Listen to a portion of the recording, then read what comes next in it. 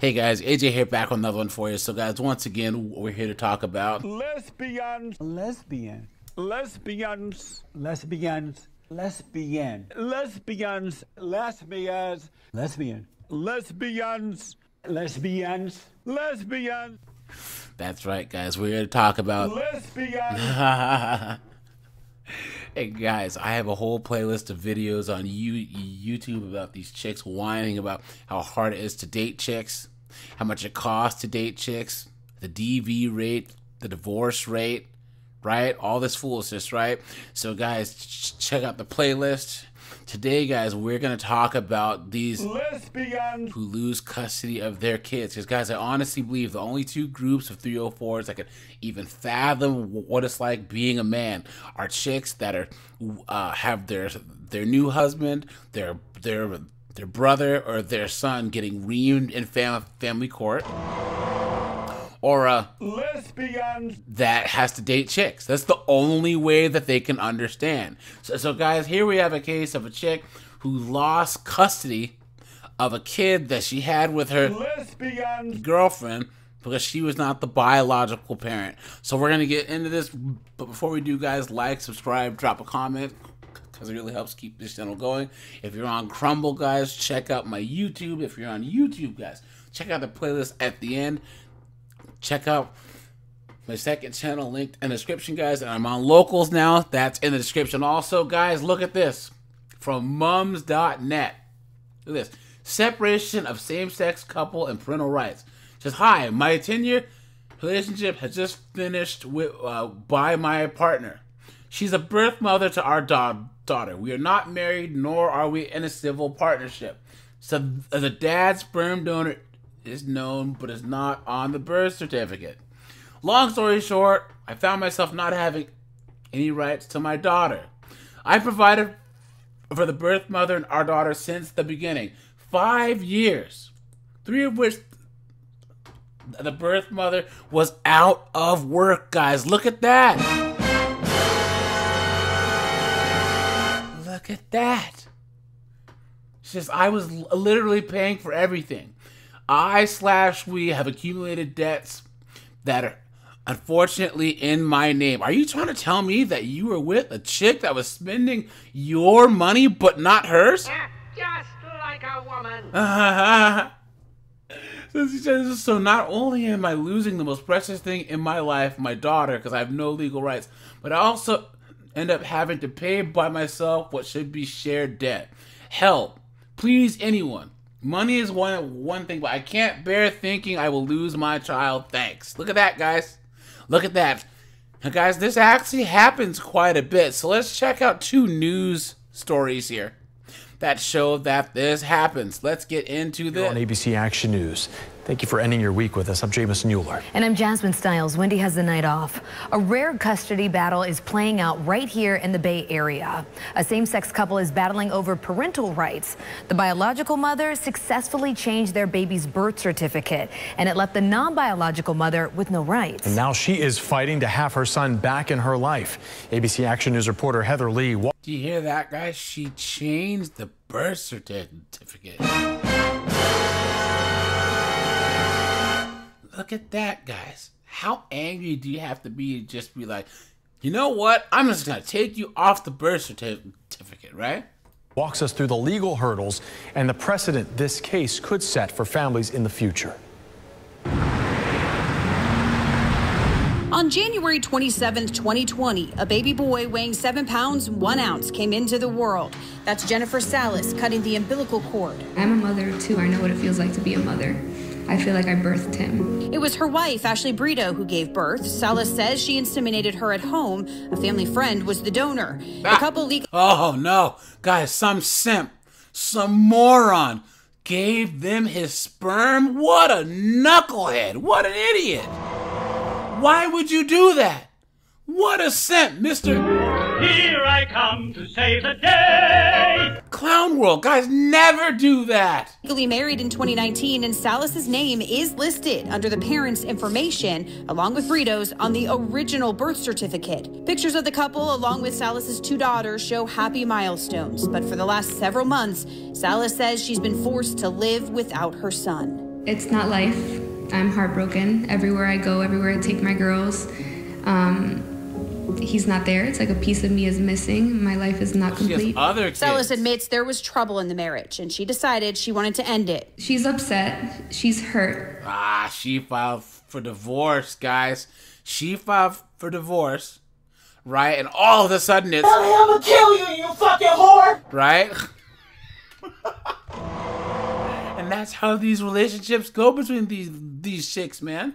I left her. I was no longer happy. Whatever went on between me and her has absolutely nothing to do with the baby. That's what you think. After that, Salas says Brito grabbed her things and their child and left. Weeks later, she discovered her name had been taken off of the birth certificate. Look at that. And you're trying to tell me that a woman's using a child as a weapon against you? Ah, just like a woman. And the biological father, Angel Rivera, was now listed under the parents' information. Oh no, so she can get child support from that guy. Look at that, guys. Jesus Christ. So she took her wife's name off and put the sperm donor on there. Just so she can get child support now. They played make believe with me to make me believe that he was my my baby and then she said she had a change of heart and just changed her mind. Salas is now working with Robert Ongstad, a Tampa divorce lawyer who took the case pro bono. there comes these questions of well why didn't she adopt and my answer to that would be why does she have to adopt an opposite sex couple doesn't have to adopt their own child the idea is preposterous He filed a motion to throw out the judge's order, granting the biological father parental rights and restore Salas's rights. The judge agreed during an emergency hearing last month. This is a ruling based upon um, facts brought to the court's attention. Okay, so the court is va- is vacating its own final judgment. Ongstad says Brito and Rivera went behind Salas's back. He says Salas was never served a notice on the final hearing, removing her from the birth certificate, which is why he's trying to prove they committed fraud in the court's eyes. if this were an opposite sex marriage we would not be here today this case never would have happened um, a child born in a marriage has a presumption of being a legitimate child to both husband and wife period I reached out to Brito and Rivera asking to hear their side of the story. Both of them told me over the phone I'd have to go through their lawyers. I reached So she called and was like, Why did you do this to your ex? And she said, I hope you die, bitch! I hope you die of AIDS, hoe! Reached out and they never got back to us. But in court filings, both say, quote, there is no status or case law that requires notice to the respondent's same-sex wife. And while Ongstad admits there is no case law, the Supreme Court's ruling legalizing same-sex marriage was clear about one thing. children from same-sex marriages would have the same sense of unity and community and belonging that children from opposite sex marriages have. So that is in the US Supreme Court decision. when the government moves to take away something from you, whether it's life, liberty, property, whatever the case may be, and certainly courts have, have said custody counts, you have to have notice and a hearing before an impartial decision maker. So something uh, is, is seriously amiss. Brendan Beery is a professor of constitutional law at Cooley Law School. He says the Supreme Court ruled on a case with an opposite sex couple where the non biological dad got parental rights. The Supreme Court made it very clear that the constitutionally protected interest or the constitutionally protected unit is the family unit. It's not the biological relationship. That act- actually was authored by Justice Scalia, who probably would not have foreseen using it this way. But he says the Supreme Court looks very different from 2015 when it legalized same sex marriage. And he says clarifying the law may be difficult. I, I would not put any money on this court being sympathetic uh, to the Isn't that funny, guys? How this Supreme Court now is the most diverse, right? Per the wo- wokey wokes, right? But it's conservative uh, leaning. Isn't it funny how that works? Because people just act, the wokey wokes act act like just just oh yeah we'll we'll put a bunch of blacks and browns and chicks in there and it's gonna automatically be good. Nope.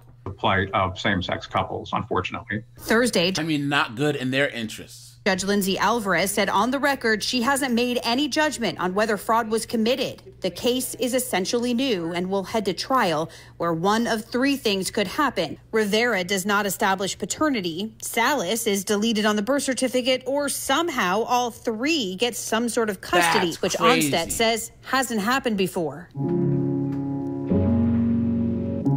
I just can't wait to see my son. I don't believe that blood makes you family. I believe that time, care, and love makes you family, the time that you put into an individual. A devotion. I'm not settling. I'm going all the way through. This mom won't give up on. Heather Lee, ABC Action News.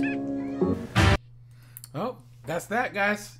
That's that. Clown. The custody battle continues tonight for a former lesbian couple and their seven-year-old daughter. And now there's an arrest warrant involved. News Oops. Channel 5's Jill Glavin joins us live from our Vermont newsroom tonight with an update. Jill?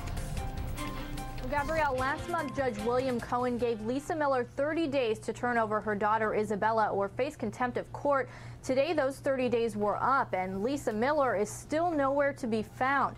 This afternoon, Judge Cohen issued a warrant for Miller's arrest, holding her in contempt of court. Miller and her daughter have been missing since January 1st when she was ordered to surrender custody to her former partner, Janet Jenkins of Fairhaven. The two women have been locked in a custody battle since 2003 when Miller moved to Virginia and So do you see? She, guys, she took the babe, babe, baby, got out of there, man. renounced her homosexuality. Outside court today, Jenkins made another plea for Isabella. So much time has passed since Isabella's disappearance.